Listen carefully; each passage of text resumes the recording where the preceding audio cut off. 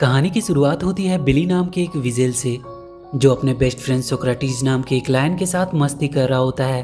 तभी उसे वहाँ हाइना पोप मिलता है, जिसे वो एक छड़ी की मदद से गोल्फ की तरह खेलने लगता है। तभी वहाँ उसकी वाइफ बोनी आती है और उसे कहती है कि वो पानी लाने के लिए जाने वाला था, पर वो यहाँ टाइम पास करने में लगा हुआ है। वहाँ उस जंगल की क्वीन हाथी उनके पास आती है और कहती है कि इस साल उनकी नदियों में पानी नहीं आया है, जबकि हर साल तो इस समय तक नदियों में पानी आ जाता था। पर पता नहीं इस साल क्या हुआ।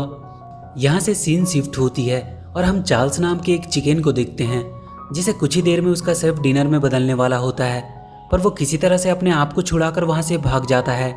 वो उसके सिप से बाहर कूदकर एक छोटे से बोट में आ जाता है, जहाँ उसे और भी कुछ एनिमल्स उस बोट पे मिलते हैं। उन सारे एनिमल्स को इंसानों की वजह से अपने घर को छोड़कर भागना पड़ा था। वो एक ऐसे जगह की तलाश में जा रहे होते हैं, जहाँ अभी तक इंसान ना पहुँचे हों।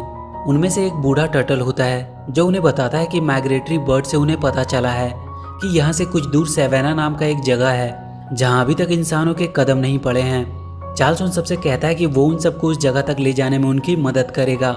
इधर सेवेना की क्वीन सबसे कह रही होती है कि उनके पास खाने का स्टॉक्स भी खत्म हो रहा है और पानी के छोटे छोटे तालाब भी लगभग सूख चुके हैं। और अगर ऐसे ही हालात रहे तो उन्हें सरवाइव करना मुश्किल हो जाएगा। चार्ल्स और उसकी टीम भी सेवेना की खोज करते हुए उसके बहुत करीब पहुँच चुके थे। बिली पानी की तलाश में आगे बढ़ रहा था। उसे अपनी फैमिली के लिए पानी लेकर जाना था। वहीं कुछ दूर पे बफेलो और रैनो का ग्रुप आपस में पहले पानी पीने के लिए लड़ रहे होते हैं। उनकी तरफ़ ध्यान ना देते हुए बिली सीधा वहाँ के तालाब से अपने बोतल में पानी भरने लगता है। जब उस पर राइनो और बफेलो की नज़र पड़ती है तो वो गुस्से से उसे घूरते हैं। इधर बिली का बेटा जूनियर अपने दोस्तों के सामने अपने डैड की बहुत तारीफ़ कर रहा था। तभी वो सब देखते हैं कि बिली पानी को लेकर भागता हुआ आ रहा है और उसके पीछे बफेलो का एक ग्रुप पड़ा हुआ है। जूनियर खुश हो जाता है कि उसके डैड इतने मुसीबतों का सामना करते हुए भी उसके लिए पानी लेकर आ रहे हैं। पर उन बफेलो की वजह से बिली का सारा पानी बह जाता है। जूनियर के दोस्त उसका मज़ाक उड़ाने लगते हैं। वो बहुत उदास हो जाता है। उसे मनाने के लिए बिली उसके पास जाता है। पर वो बहुत गुस्से में होता है और वो बिली से कह देता है कि आज से वो उसका डैड नहीं है। बिली दुखी होकर वहाँ से चला जाता है।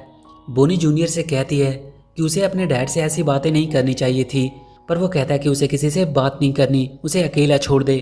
बिली अपने दोस्त सोक्राटिस के पास जाता है और कहता है कि उसे उसके साथ पानी की तलाश में जाना होगा, क्योंकि उसकी फैमिली को पानी की ज़रूरत है और उसे अपने बेटे जूनियर को भी दिखाना है कि वो एक लूज़र नहीं है।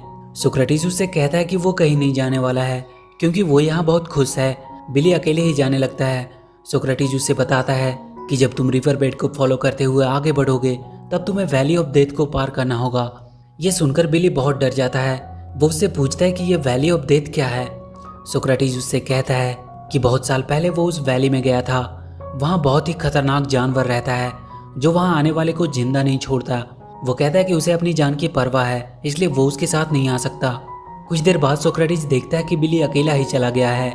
बिली अपनी तलाश में आगे बढ़ने लगता है, और कुछ देर बाद वो वैली के गेट के पास पहुँच जाता है। वहाँ उसे कुछ वल्चर्स मिलते हैं जो वैली में जाने से पहले उसे वार्न करते हैं, पर फिर भी बिली हिम्मत करके वैली के अंदर चला जाता है। वो जगह उसे बहुत ही डरावना लग रहा होता है। तभी कुछ देर बाद उसे कुछ डरावनी आवाज़ सुनाई देती है। वो पीछे देखता है तो खुश हो जाता है, क्योंकि सुक्रेटिस था वहाँ पे। उसका डर भी अब बहुत कम हो जाता है। वो लोग जल्दी से भागकर उस वैली को पार करने लगते हैं, पर कुछ देर बाद ही बिली को वहाँ एक बड़ा सा काला तेंदुआ दिखाई देता है, जो उसकी तरफ़ बढ़ रहा होता है। पर अचानक से वो देखता है कि तेंदुआ डर से भागने लगा है।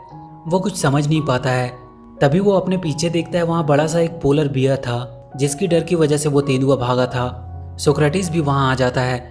वो लोग वहाँ चाल से और उसकी बाकी टीम से मिलते हैं। रात को वो सब वहीं आराम करते हैं। वहाँ सोक्रेटिस बिली को बताता है कि कई साल पहले वो अपने भाई के साथ इस वैली में आया था, पर अचानक से किसी ने उसके भाई को मार दिया। उसने उस दिन वहाँ एक अलग क्रिएचर को देखा, जिसे इंसान कहते हैं। सुबह चाल सबको उठाता है वो बियर उनसे कहता है कि अब वो और कहीं नहीं जा सकता, क्योंकि वो बहुत ज़्यादा थक चुका है। चार्ल्स अपने दो एनिमल, टॉबी और स्माइली को बिली के साथ पानी ढूँढने के लिए भेजता है, और वो उन दोनों टटल के साथ बियर के साथ ही रहेगा। वो चारों वहाँ से आगे बढ़ जाते हैं, और बहुत जल्द वो उस वैली के अंत तक पहुँच जाते हैं। उन सबको वहाँ एक बड़ा सा डैम दिखाई देता है। उसी डैम की वजह से उनकी नदियों का पानी रुका हुआ था। वो सब छुपते हुए डैम के ऊपर जाते हैं। वहाँ वो देखते हैं कि नदी का सारा पानी यहाँ पे किसी ने कैद करके रखा हुआ है। वहीं डैम के पास एक ईडन पैराडाइज नाम का होटल था, जहाँ आज बहुत से देश के लोग क्लाइमेट चेंज की मीटिंग अटेंड करने के लिए आने वाले थे। उस होटल का मालिक वहाँ आए हुए डेलीगेट्स को अपने होटल में अपना पालतू मंकी टोटो से उनका वेलकम कराता है। इधर एक वाटर बोट के सहारे वो चारों एनिमल होटल तक पहुँच जाते हैं। वो सब होटल के अंदर जाकर मस्ती करने लगते हैं। बिली और सोक्रेटिस वहाँ के कॉन्फ्रेंस रूम में पहुँच जाता है, जिसे देखकर वहाँ के सारे लोग बहुत डर जाते हैं। वो तुरंत होटल के ऑनर को कॉल करते हैं। ऑनर वहाँ का हंटर को आवाज़ देता है।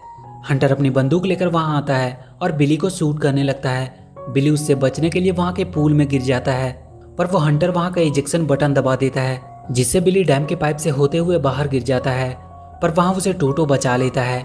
टोटो उन सभी एनिमल को हंटर से बचाने के लिए उस होटल के एक रूम में उन्हें छुपा देता है, पर वो सारे मिलकर उस होटल के कमरे को पूरी तरह से बर्बाद कर देते हैं। टोटो उन्हें समझाने आता है कि ऐसा करने से वो अपनी जान को खतरे में डाल रहे हैं। बिली उससे कहता है कि वो लोग यहाँ छुपे नहीं रह सकते, क्योंकि उन्हें उनकी फैमिली के लिए पानी लेके जाना है। टोटो उनसे कहता है कि उन्हें डैम के फ्लड गेट्स को खोलना होगा, जिससे उनकी नदियों में वापस से पानी जाने लगेगा। टोटो उन सबको लेकर डैम के मोटर रूम में पहुँचता है। बिली फ्लड गेट्स को खोलने की कोशिश करने लगता है। तभी वहाँ वो हंटर आता है और सोक्रेटिस को सूट करके बेहोश कर देता है।